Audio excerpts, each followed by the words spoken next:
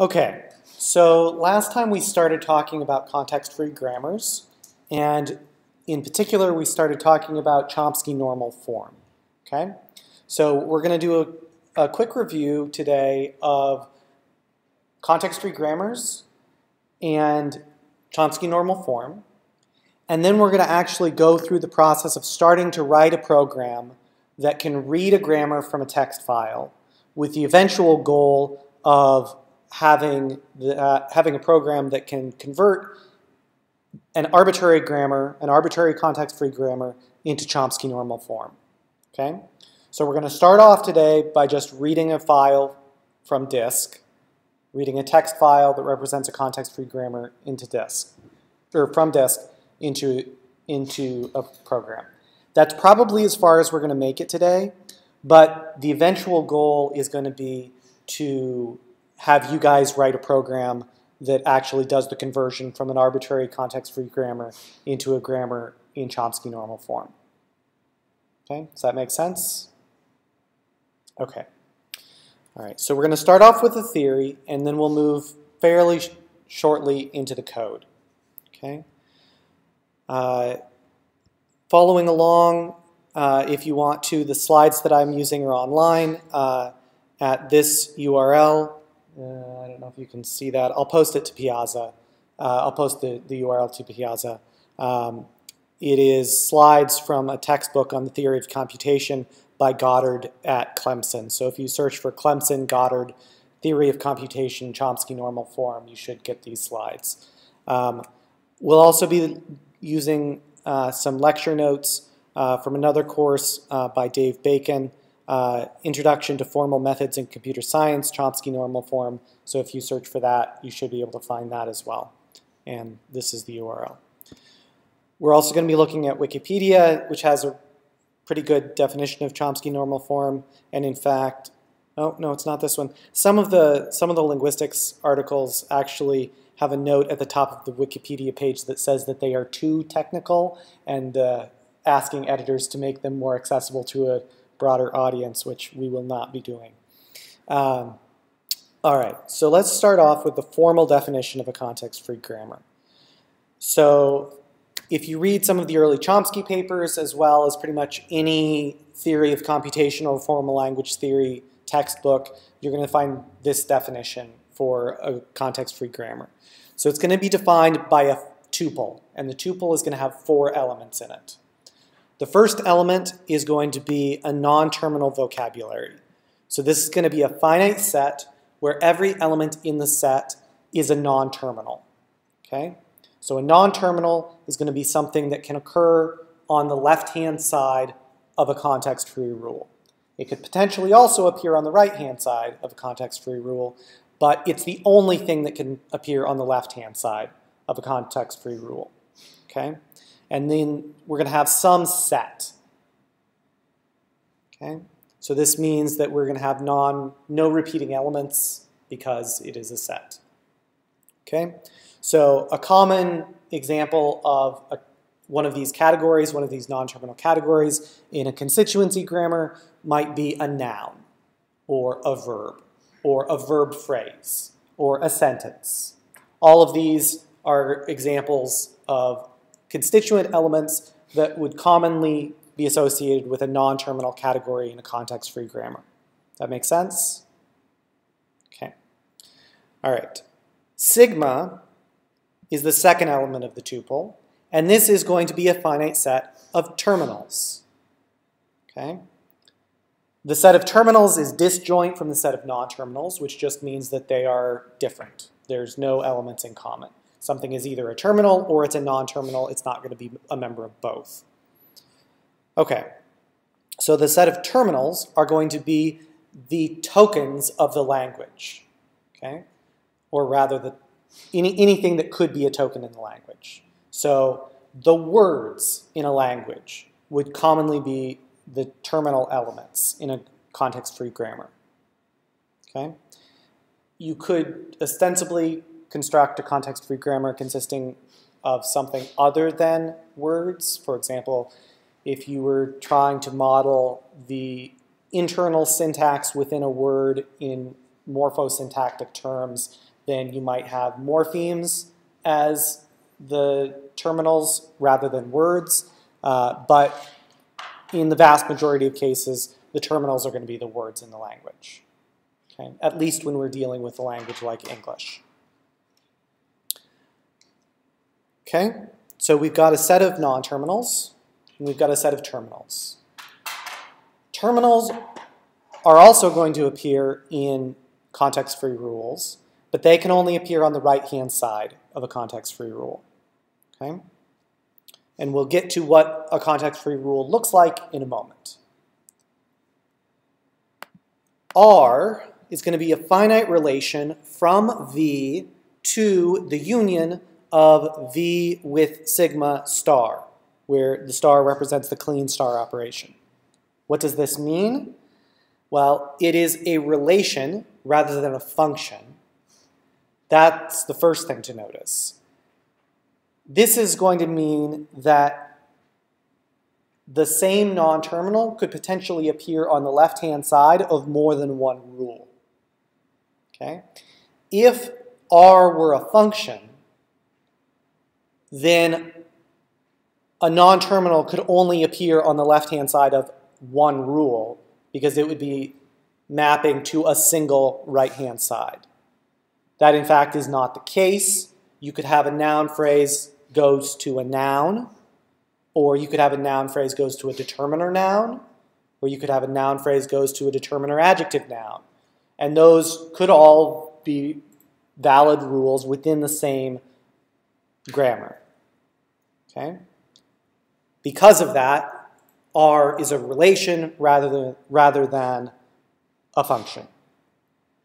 Okay? So, R is going to be a set of rules. We'll look at what the rules look like in a moment. And finally, we have S. So S is going to be the start symbol. It is going to be one of the elements in the non-terminal vocabulary. So the start symbol is also a non-terminal. And it is going to be, in particular, the non-terminal that is going to be at the root of any constituency trees, any syntax trees that result from parsing using this grammar. Okay? All right. Okay, so what does one of these rules look like? Any guesses? You've probably already seen rules of this format. Yes?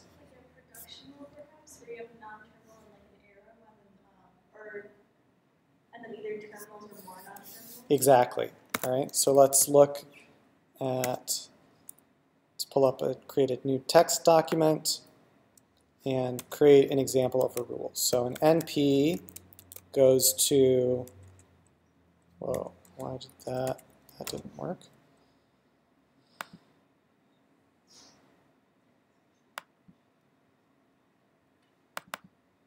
We can use the actual arrow.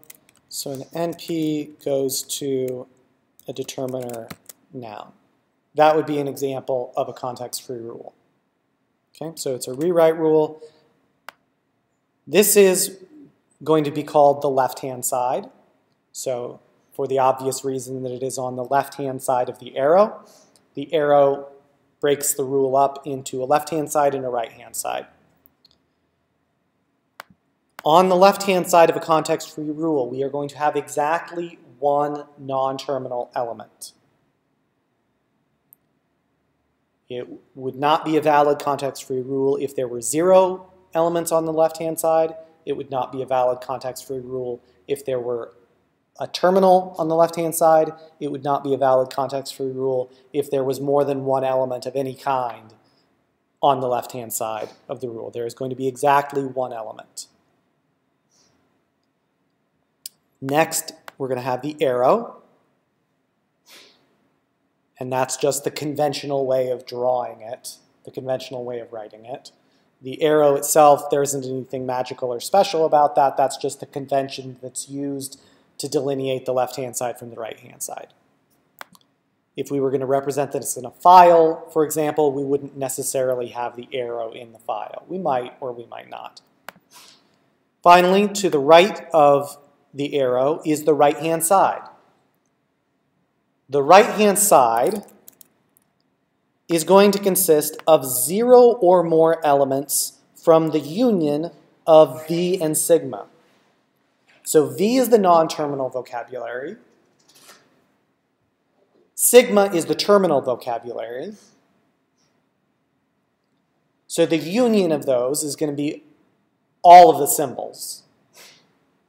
The union of the terminal and vocabulary, the terminal vocabulary with the non-terminal vocabulary will just be the set of all of the terminal and non-terminal symbols.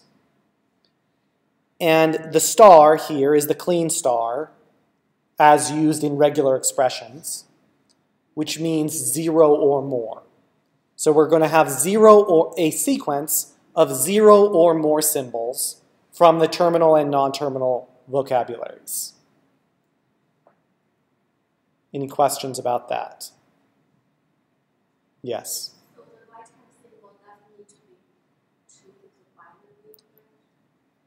If we want the grammar to be in Chomsky normal form, which we eventually will, then it must be of a certain form. But in general, a context-free grammar does not have to be in normal form. So if it is not in normal form, then it could have zero or more symbols on the right-hand side, and that's what we're talking about right now. We will eventually restrict that further once we start talking about normal forms. Okay? Okay, so for example, this is a rule. It happens to be that this rule does conform with Chomsky normal form, but we could have a rule that looks like this. So DT, so a noun phrase can be rewritten as a determiner followed by an adjective followed by a noun. That is a perfectly valid context-free rule. Okay? What are some other examples of context-free rules? Uh, a sentence consists of a noun phrase and a verb phrase. That's another example of a context-free rule. Determiner goes to the. That's a context-free rule. You could also have context-free rules that mix terminals and non-terminals. Again, in Chomsky normal form, this won't be allowed, but in the general form, it is.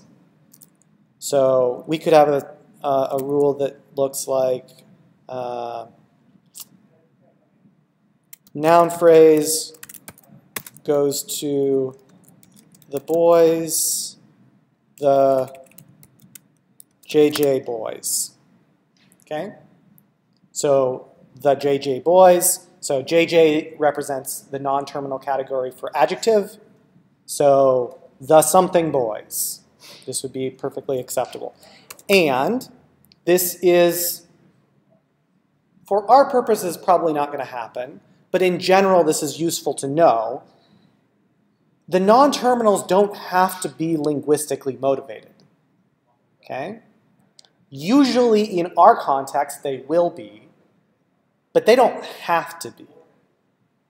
Okay? So, for example, in machine translation, there is a paradigm uh, called hierarchical syntactic translation, hierarchical phrase-based machine translation.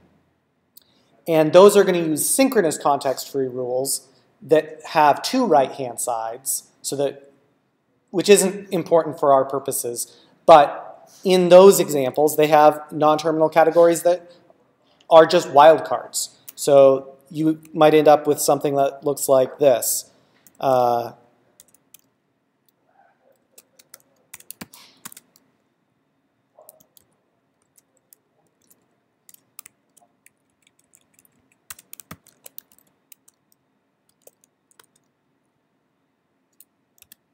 that would be a perfectly valid context-free rule a noun phrase, or yeah, uh, let, us even, y goes to the x period. Does that make a lot of sense linguistically? Not so much. Let's make it even make let's make one that even makes less sense.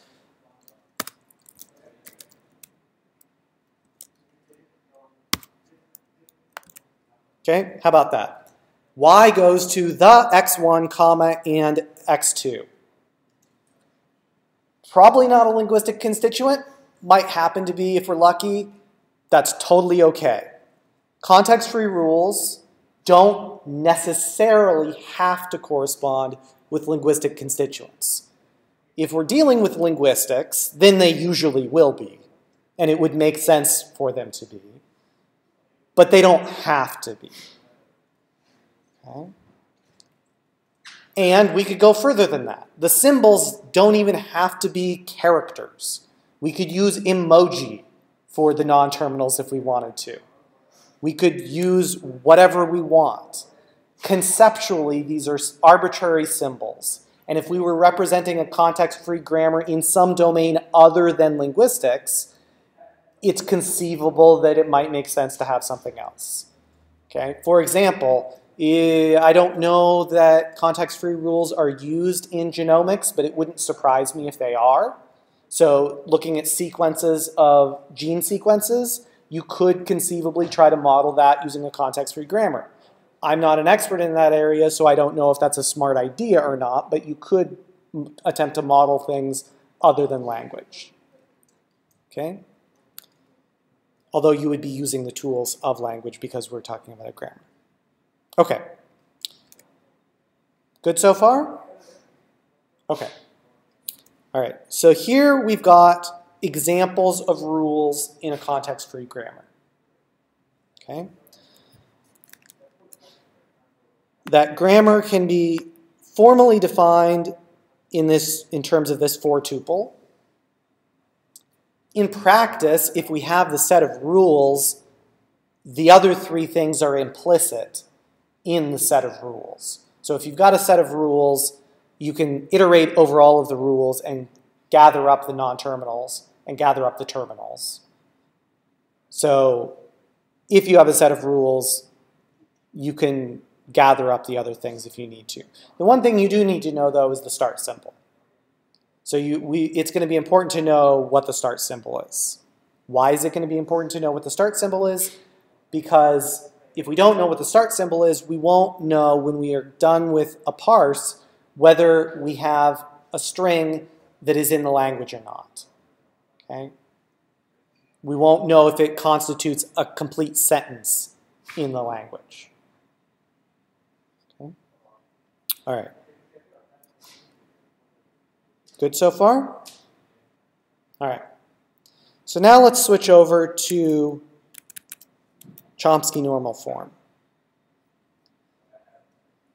There are other normal forms. There's Greibach normal form. There's, I think, a couple of others. But Chomsky normal form is one of the big ones. Greibach normal form is the other big one that I know of. You could conceivably come up with your own normal form.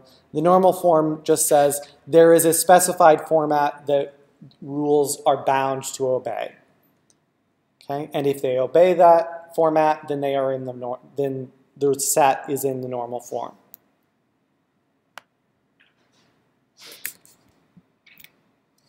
Okay. All right. And again, these slides are from Goddard. Uh, right, so Chomsky normal form, first of all, requires that you have a grammar.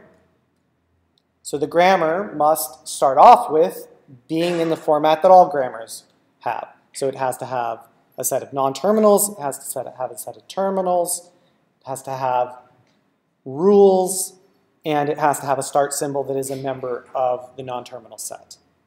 Okay? All right. We haven't talked about epsilon yet. Recall that I said that on the right-hand side, you could have zero or more symbols. Okay? Let's look at a rule that has zero symbols.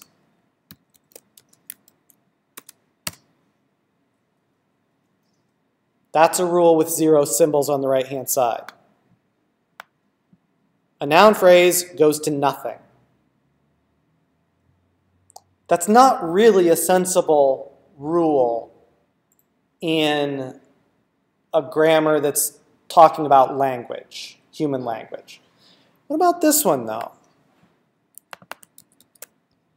JJ goes to nothing.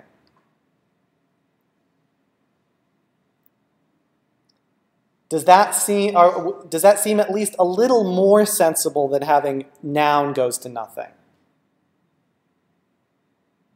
Okay. Now, most linguists probably wouldn't posit an empty adjective category, but it doesn't, it's not complete nonsense to think about that, because then you could do something like this and have noun phrase goes to determiner adjective noun, and you don't have to have a separate rule that says noun phrase goes to determiner noun. If an adjective could be empty, then you could get a you, you could cover this case with this case in conjunction with this rule. Okay? So it is conceivable that you could write a grammar that included rules with an empty right-hand side for well-motivated, sensible reasons. Okay? You could probably get by just fine without those type of rules, but there might be situations where you find yourself wanting to use an empty rule on the right-hand side. And in general, in a context-free grammar, that is allowed. That is legal.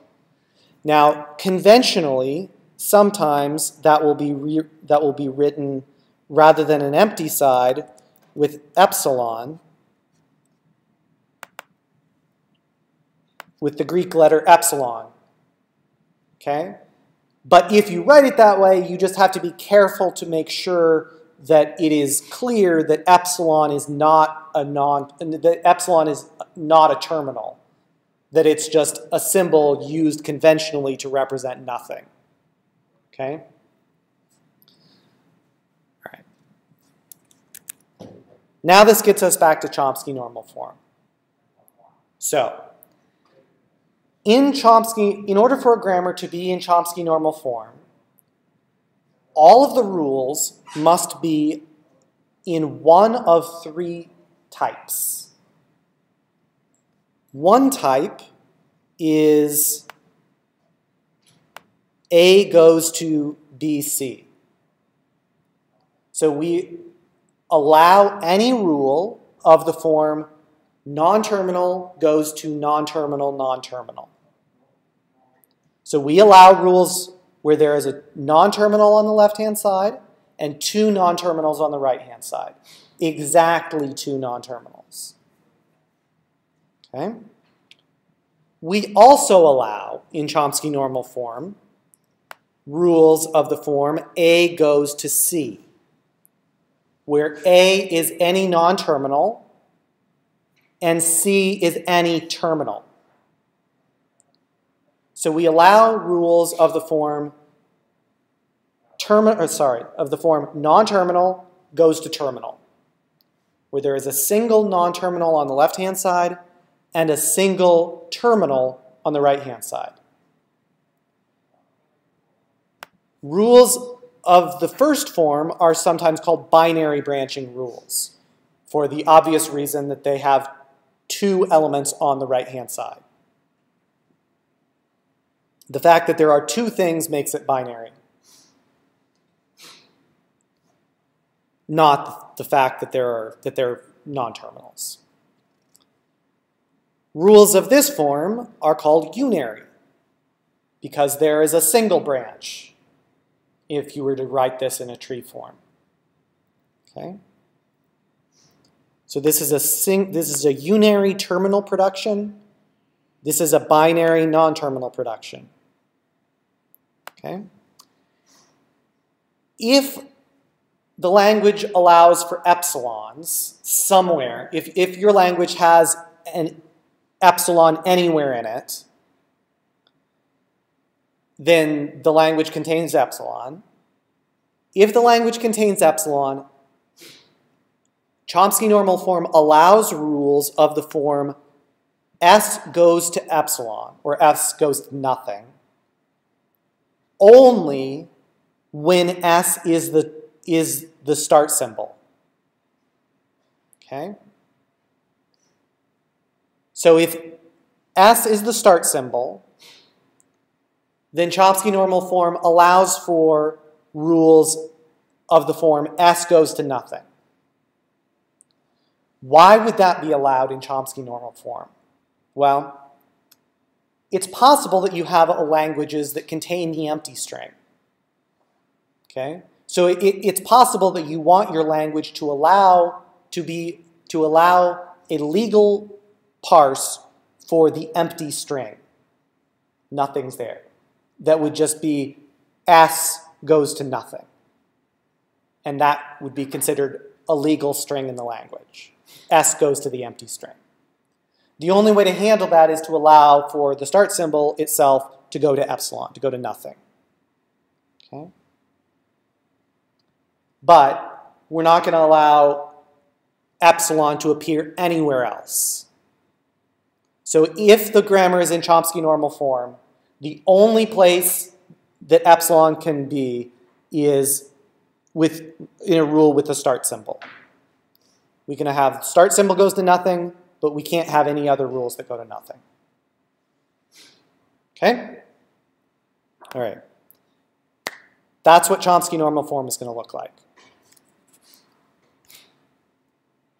There are good reasons why it's often useful to have a grammar in Chomsky normal form. One of the most important reasons is going to be that there exists an efficient algorithm for taking a string and a grammar and determining whether that string can be produced using that grammar and pr producing the parse tree that is associated with that if it is in the language. Okay? We're going to be looking at that algorithm, or one, of, one such algorithm to do so after we talk about Chomsky normal form, but this should help motivate why. So if we've got a string that's n tokens long, here it says letters, I'm just going to say tokens. So if we've got a sentence that's n words long, then we know that we can derive that string from the grammar using 2n minus 1 steps. And this comes from the fact that all of the rules that involve non-terminals on the right-hand side are binary branching, and all of the rules that involve terminals are unary branching. Okay? All right. So the main, the, the steps to follow to convert a grammar that is not in Chomsky normal form to a grammar that is in Chomsky normal form are going to consist of four main parts. Okay? The way I envision the program that you will be writing to be structured is going to be following along these steps. So I am envisioning that the program that you will eventually be writing will have a function that takes a grammar and returns a new grammar that where the resulting grammar is guaranteed to have no epsilon productions. Okay? And then the next function would be uh, you, you take a grammar and then you return a new grammar where it's guaranteed that the second condition is true. And then a third function where the third condition is met and the fourth where the fourth condition is met. That turns out not to work, we'll restructure it, but just as an FYI, that's the way I'm envisioning this will work. Okay? All right. Step two says get rid of all productions where the right-hand side is one variable. Okay? Note it didn't say one symbol, it said one variable. And by variable, it means non-terminal. So we want to remove any unary branching rules where the right-hand side is a non-terminal. So that would be something like NP goes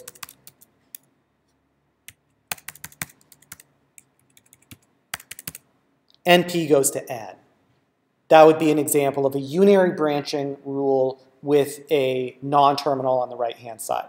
Now this is a perfectly sensible rule. I mean, you can have, I mean, in fact, you can have a, no a noun phrase that consists only of a bare noun. That's perfectly reasonable. But if we want to get the grammar into Chomsky normal form, we can't allow this. Okay? And so there are going to be steps that we can go through to get rid of rules of this form. Okay? All right. Next, we're going to replace every production that is too long by shorter productions. Okay? That would mean getting rid of rules like this that have more than two elements on the right-hand side. Or rules like this that have more than two elements on the right-hand side. Okay? How, I, how might we do that? Well, at this point, we would probably want to introduce new non-terminal categories. So if we want to replace this, we could equivalently say, well, we'll leave the first thing, and then we'll create a new non-terminal that encapsulates those two elements. Okay, so we could rewrite this as noun phrase goes to determiner x1, x1 goes to jjn. Okay, so here x1 is just a new dummy category that we have introduced to prevent the grammar to prevent the grammar from having this rule with three things on the right hand side. Okay? Now, because x1 will eventually be rewritten as jjnn, these are going to have the same effect in terms of the strings that can ultimately be produced. The tree structure will look a little different. In the original tree, we would have a tree with, with an element and three children directly underneath it. Here, we've got that same element has only two things underneath it, and then that second child itself is going to have two children. Okay? So the trees are going to look different, but the ultimate resulting string is going to be the same. Okay? And then the fourth move, the, the fourth thing that we're going to have to do is to find all places where a terminal occurs and make sure that those only the terminals only occur as the right hand as the single element right hand side of a rule. Okay? In other words, if we had rules that looked like this or this, we would have to do something about it. Okay? So let's first let's let's start with this rule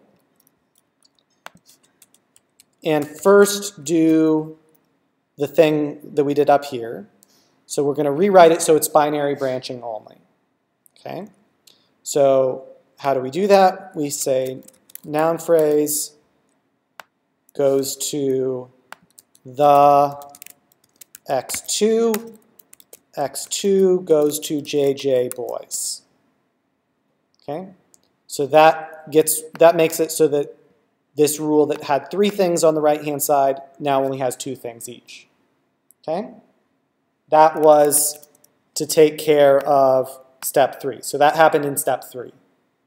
Now we're in step four, and we've got a non, or we've got a terminal on the right-hand side, but it's not the only thing there. This is not allowed. Okay? So to fix this, we're going to do the same sort of thing by introducing new non-terminal categories.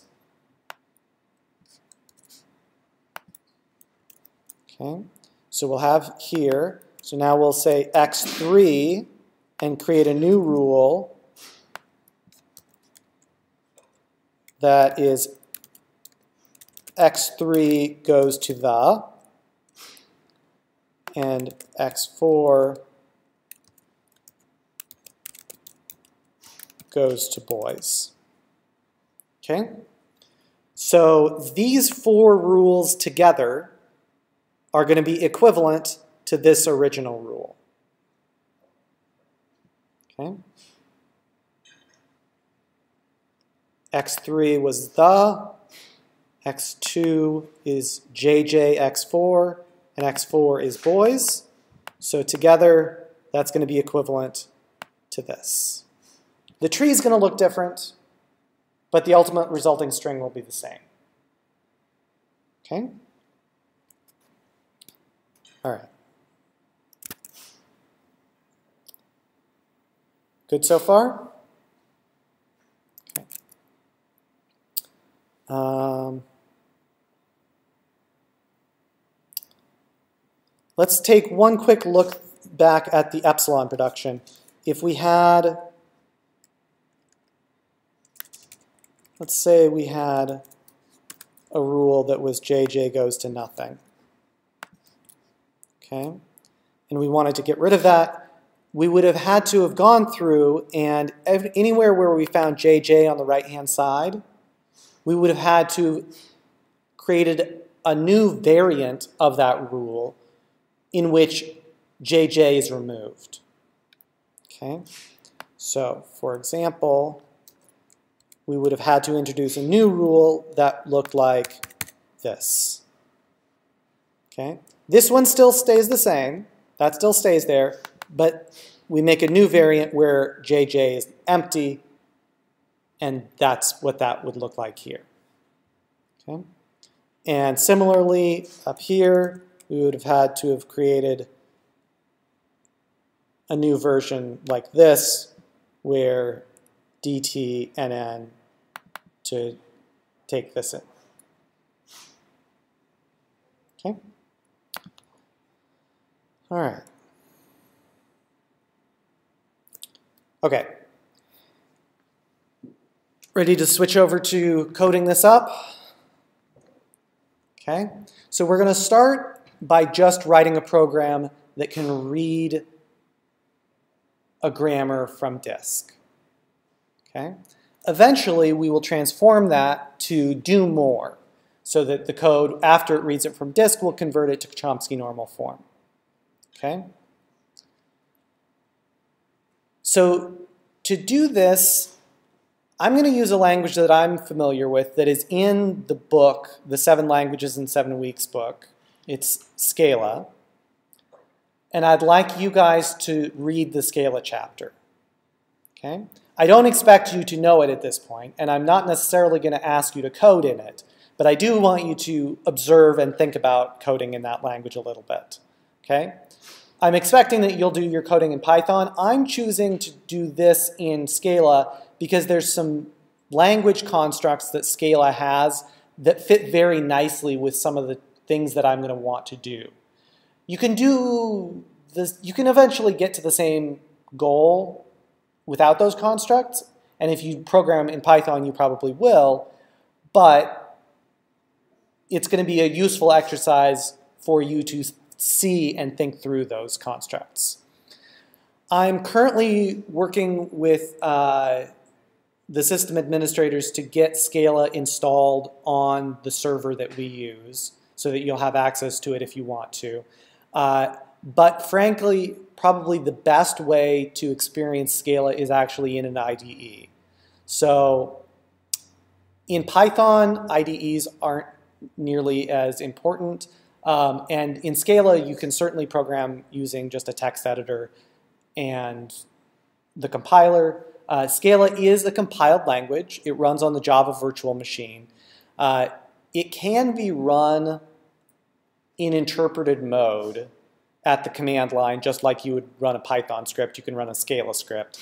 That's not the normal way of doing things, though. Um, I'm going to show you programming inside Eclipse. So this is the Scala IDE, which is Eclipse, which is originally designed for Java with a Scala mode running. Okay. if you want information about the language, search for Scala, and it will be the first hit. Should be, okay? Scala is a multi-paradigm language, okay? We've talked about object-oriented programming. We have not talked about functional programming. We hopefully will talk more about functional programming and we will see a little bit of functional style in my Scala code. Uh, but Scala allows you to do either, either, either type, okay? Which is kind of nice. Uh, Scala is also statically typed, which I really like, and the author of the Seven Languages in Seven Weeks book does not. Okay, so that's a matter of taste. Um, if you search for Scala IDE and want to try it, you'll find the development environment that I'm using. You can download that IDE. Uh, it should be available for Windows, Mac, and Linux. Uh, and is not a small download, but it's not gigantic either. Um, and if you do that, then you can work within the environment, and there's some uh, benefits for doing so. Okay, so within the Scala environment, or within the IDE, it's going to ask you for a workspace, which is just a folder where you want your work to live. And then I'm going to create a new Scala project. Uh, I'm going to call it grammar. Okay. All right. And there's a source folder. I know this is a little hard to read. Once I get the text up, I'll try to increase the font size to make it easier to easier to uh, easier to see. So I'm going to create a new Scala class. And what do you want to call this? Grammar? CNF? Doesn't matter. Scala is a little bit more permissive than, than Java is. So Scala runs on the Java virtual machine. You may or may not be familiar with the Java programming language. If you are familiar with the Java programming language, the nice thing is, from that perspective, that Scala is interoperable with Java. So if you have existing Java code, it can interoperate with Scala code. Scala is also going to make use of some Java objects and classes like the string class. Scala makes use of the Java string class uh, and inherits some of the ideas around the Java uh, way of thinking like packages. Okay, um, But where Java classes require one class per file. Scala does not. Okay, so uh, I'll just call it mygrammar.scala. Okay, and notice that by default it created a mygrammar package. Okay, which means that there's actually a folder called mygrammar there. If we don't want to worry about that, we can tell it to move it outside of that package and put it use the default package, which is in general bad practice in the Java world, but we're going to live with that. And this should not be called scala.scala. We'll call it mygrammar.scala. Okay. All right.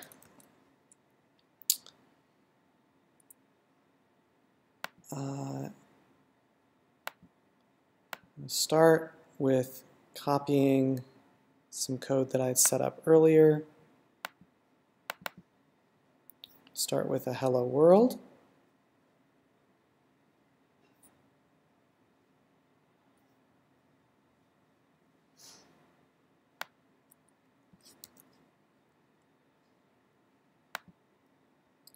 One thing that you will immediately notice from Scala coming from Python is that there's more, more going on.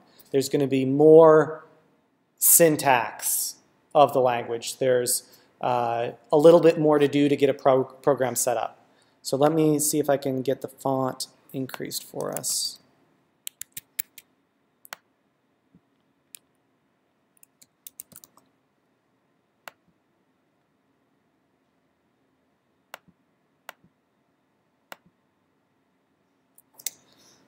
Oh, come on.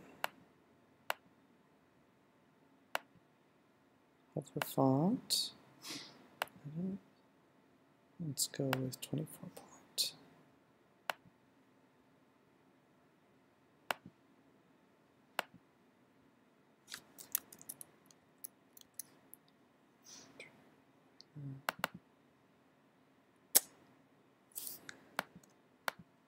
I should have thought of this before. Um, there's another way of doing this.